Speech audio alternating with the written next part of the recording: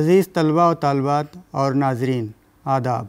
मौलाना आज़ाद national Urdu university के इस तालीमी प्रोग्राम में मैं डॉक्टर मोहम्मद निहाल अफरोज़ आप तमाम का खैर मकदम करता हूँ। अज़ीज़ तलबा, आज का हमारा ये प्रोग्राम एम ए उर्दू के पहले सेमेस्टर के तलबा के लिए तैयार किया गया है। इस प्रोग्राम में हम एम ए फ़र्स्ट सेमेस्टर के तीसरे पर्चे दास्तान में शामिल रानी केतकी की कहानी का मताल करेंगे।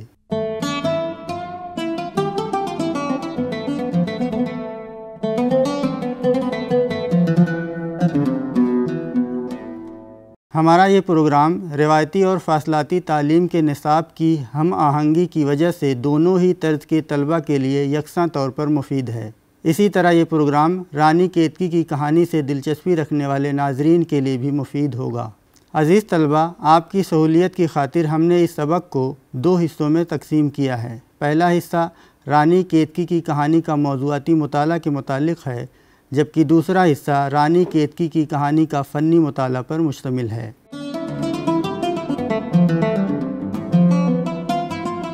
रानी केतकी की कहानी इंशा अल्लाह खां इंशा की मशहूर दास्तान है। इस दास्तान के सन तसनीफ़ में इख्तलाफ है। उर्दू के महक़ों ने बिलतफ़ाक़ इस दास्तान का सन तसनीफ़ 1803 ईस्वी माना है।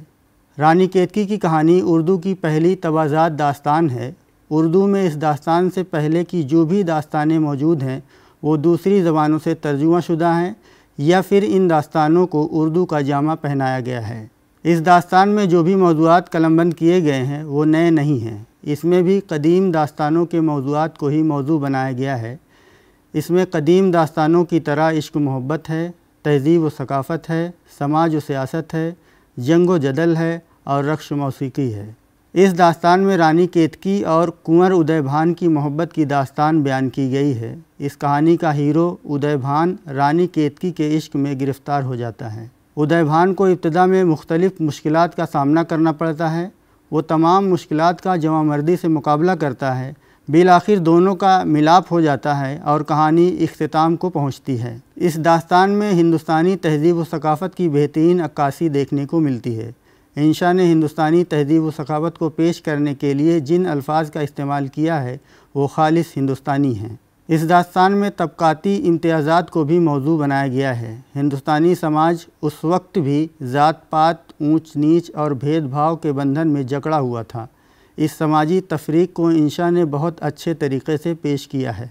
दास्तान का एक अहम मौजू जंग जदल होता है। इस दास्तान में भी जंग को दिखाया गया है जब रानी केतकी और उदयभान के माँ बाप शादी के लिए तैयार नहीं होते तो जंग का ऐलान कर दिया जाता है। इस तरह रानी केतकी की कहानी मौजूदी एतबार से एक अच्छी दास्तान है। इसमें इश्किया दास्तान के साथ साथ तहजीब व सकाफ़त, समाज व सियासत और जंग व जदल वगैरह की बेहतरीन अक्कासी की गई है।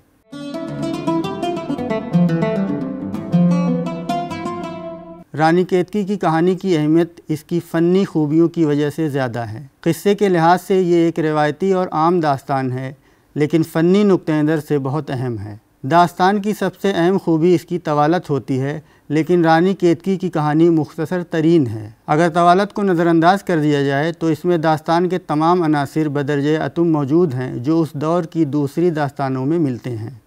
इसमें इश्क मोहब्बत है माफ़ाकुलफ़ितरी अनासर है, रक्स मौसीकी का जश्न है, राजा रानी, राजकुमार, राजकुमारी वगैरह भी हैं। यानी दास्तान के जो भी अनासर होने चाहिए, वो सब खूबी के साथ मौजूद हैं। रानी केतकी इस दास्तान की हीरोइन, यानी कि मरकज़ी किरदार है। कुंवर उदय भान इस दास्तान का अहम किरदार है, जो सूरज भान और रानी लक्ष्मी बास का इकलौता बेटा है। मदनबान रानी केतकी की सहेली है। एक अच्छी सहेली में जो खूबियाँ होनी चाहिए, इन तमाम खूबियों को इंशा अल्लाह खां इंशा ने मदनबान के किरदार में भर दी है। रानी केतकी की कहानी में कोई ऐसी दिलकशी नहीं जो दिल पर नक्श कर जाए, लेकिन रानी केतकी और मदनबान के किरदारों में इतनी दिलकशी और कशिश है कि कारी इन्हें आसानी से भूल नहीं सकता। जगत प्रकाश रानी केतकी का बाप है। इसके अंदर बाप के किरदार की तमाम खूबियाँ मौजूद हैं। वो अपनी बेटी की खुशी के लिए कुछ भी करने के लिए तैयार हो जाता है। रानी कामलता जगत प्रकाश की बीवी और रानी केतकी की माँ है। ये हिंदुस्तानी रस्म रिवाज की पासदारी करने वाली खातून है और अपने शौहर के हर फैसले पर साथ देती है।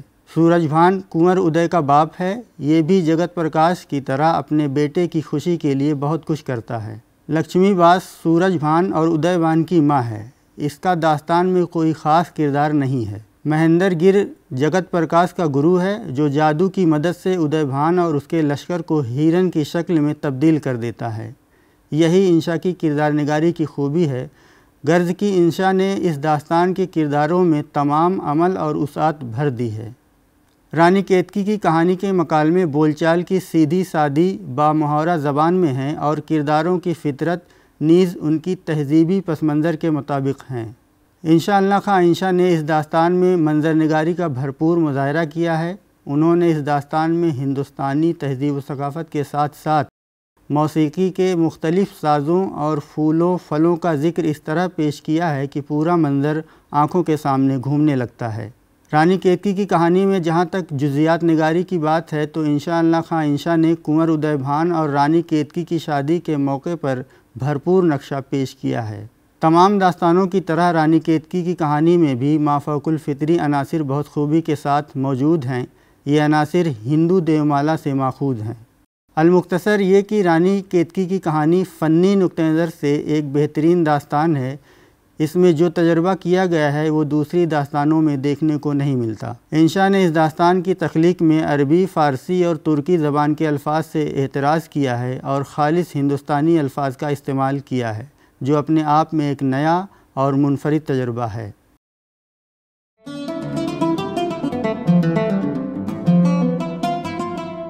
अज़ीज़ तलबा, इस सेशन में आपने इंशा खां इंशा की मशहूर दास्तान, रानी केतकी की कहानी का मौजूदी और फ़नी मताल किया। इस मौजू से मुतक मज़ीद मालूम के लिए आप स्क्रीन पर दिखाई जा रही किताबों का भी मताल कर सकते हैं। रानी केतकी की कहानी मुरतब साहब अली दास्तान का फ़न अज़ अतहर परवेज़, उर्दू की नसरी दास्तानें अज़ ज्ञानचंद जैन।